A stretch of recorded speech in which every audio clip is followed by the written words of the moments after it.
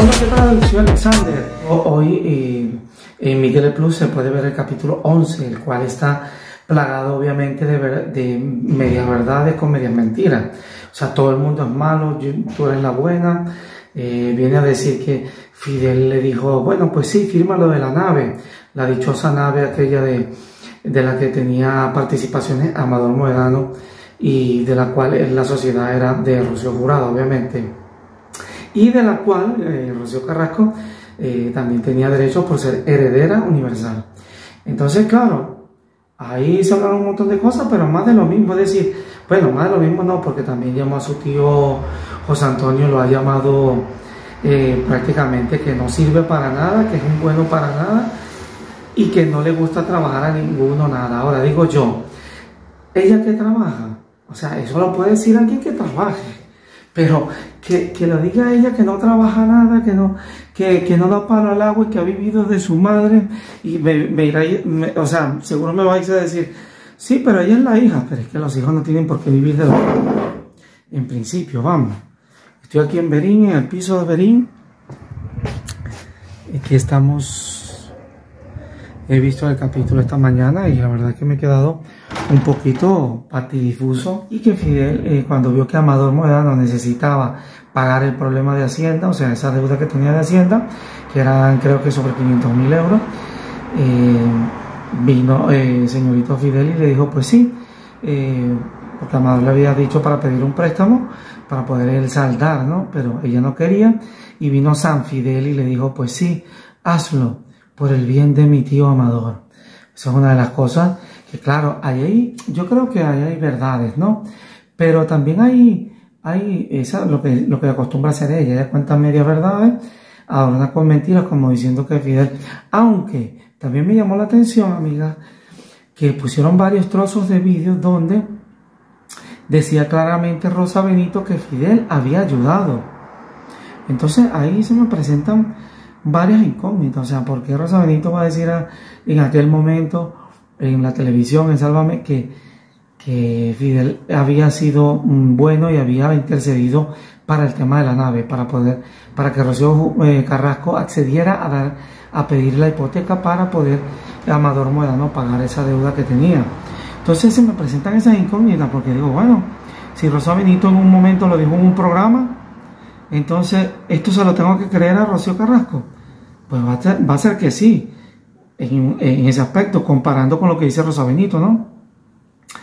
Después lo que Rosa Benito filtraba información, sabiendo que la vimos en el plató rajando eh, a Matamoros y a todos los demás sobre Ortega Cano, José Ortega Cano, y estando eh, Rosa, Rosa Benito allí en el, en el plató y así con su cara muy seria. Y ya sabemos que, que, que porque lo que decía todo el mundo, que ella daba información por detrás para que ellos soltaran, porque si, si no fuera así, ellos hubiera saltado a defender, ¿no? Cuando escuchara eso, eso que estaban diciendo. Y cosas horribles, o sea, que estaba diciendo. Pero aquí es lo que os digo. Ya dije en un video anterior que se me había presentado alguna duda en algún momento, ¿no? Porque dije, por este tema de que Rocío eh, Rosa Benito había filtrado información, porque se nota que es verdad. Y en eso, en el video anterior, hace, bueno, en el video del capítulo pasado del 10, tuve que darle la razón a Rocío Carrasco en esto. Yo no sé si hay algún otro que ha escuchado este comentario que hice yo, porque ahora resulta que hay otro que dice que, le quiere dar la razón a Rocío Carrasco. Yo no le estoy dando la razón en todo a Rocío Carrasco, simplemente que en eso puede estar contando la verdad, en eso de que Rosa Benito filtraba, porque si escucha que están hablando eh, aquello que comentaba Matamoros, que, que José Ortega Cano rajaba, o sea, perdón, que José Ortega Cano le daba mala vida a la madre, dicho por Matamoros, y estando, o sea, la madre de Rocío Carrasco, a Rocío Jurado, que le daba mala vida, eh, José Ortega Cano, y estaba Rosa Benito ahí sentada, impávida, no hacía nada, o sea, es como lo de Ana María Aldón, ella por detrás, antes de empezar el programa, decía todo, y después se sentaba con la estaca, se tragaba una estaca para estar allí así súper recta y entonces todos los demás colaboradores diciendo informaciones, pero ella no defendía nada. Entonces, blanco y en botella, amigos, blanco y en botella. Sí hubo varios vídeos que pusieron allí de la época de Rosa Benito. Rosa Benito sí, que siempre ha sido tibia, e incluso recordemos que ha rajado su propio marido Después que descubrió eso, bueno, le hizo la vida imposible en Telecinco. Y ella es culpable de que se hayan metido tantos años con Amador Moedano. Ahí no es culpable su sobrina, es decir, Rocío Carrasco. Entonces, ahí hay cosas que pueden ser verdad, que tienen sentido lógico y otras que no. Entonces, como sabemos, ya esta docuserie está preparada para usar verdades y maquillarla. Eh, sobre Gloria, pues bueno, a rajar, que era la que movía todos los hilos, que era la que no, que un carácter y tal, que, que tenía, tenía todo dominado y, y, ella daba siempre el visto bueno de todo. Por lo demás, el tema que si Fidel, que si, que si Fidel, gracias a Fidel fue que ella fue y le preguntó, mira, hacemos este crédito, me quieren que, de, que pida una hipoteca con la nave y tal para ayudar a Amador. Y él le dijo, sí, hazlo, hazlo, do it, do it. Entonces yo digo, bueno, ¿cómo es esto? O sea, el Señor es un santo, entonces. Entonces hemos estado equivocados todo el mundo. Y, y, y, sin, y sin hablar también de Ana Isabel Pérez, las preguntas que hacía ya sabiendo todo porque todo está guionizado y cuadrado para destrozar. ¿Que han cometido errores en esa familia? Sí. Bueno, y el tema de la herencia también, la repartición y tal, que eso sería muy largo, eso lo haría yo en otro vídeo, porque eso es un tema largo, ¿no? Y para explicarlo malamente, eh, yo creo que eh, puede tener razón en algunas partes y en otras no. Es decir, de lo que, de lo que ella cuenta, pero en realidad lo que se repartió fue lo que se repartió, que si Ortega Cano también se dio la parte Mm, que le correspondía en detrimento de sus hijos.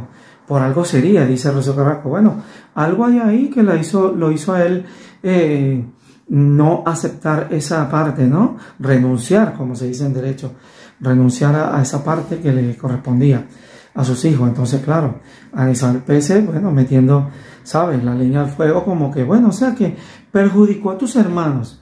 Y otra cosa, que Gloria se quedó con los hermanos, con Gloria Camila y José Fernando se ofreció después que murió Rocío Jurado para cuidarlo y, a Rocío Carrasco le parece mal.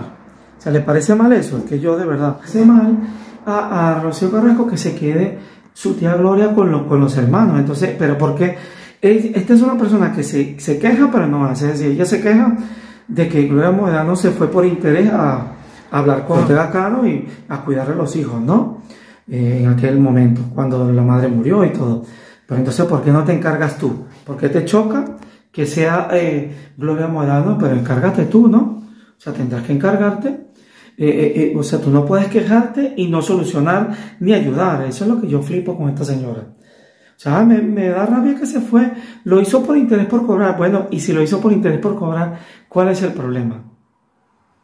Porque eso es un trabajo. Cuidador niños las cosas como son. Si no son tuyos, es más difícil. Entonces, si el Señor le quiso pagar a Ortega Cano, suponte, para que los cuidara, pues ya está, los cuidó y, le pagó y así ella se... Pero es un favor pagado, ¿no? Pero tú ni siquiera, o sea, la misma Rocío Carrasco, ni siquiera fue capaz de decir, bueno, yo me encargo de estos niños. Dame acá que son mis hermanos. No, ¿por qué? Porque se dice que Fidel no quiere niños, no quiere fastidio y en la última aparición que tuvo por ahí, pues unas caras que yo, para flipar, amigos. Bueno, más o menos esto es, sin hablar tan técnicamente, porque para el tema de la herencia habría que hacer otro vídeo más tranquilamente, y hoy tengo que irme en un ratín a trabajar, a hacer el otro trabajo, porque esto es prácticamente un trabajo también, y a tocar hoy también. Mm, esto he estado tocando todos estos días, ya sabéis que saco un hueco para ti, para mi gente, los que me siguen y los que están pendientes de cómo yo comento las cosas con bastante objetividad y tratando de ser eh, lo más justo posible. O sea, hay cosas en lo que, que, por ejemplo, lo de Rosa Benito, lo Veleta y lo que fue dando información por detrás, me lo creo. Igual como me creo que Ana María da informaciones por detrás para que los periodistas saltaran. ¿En qué?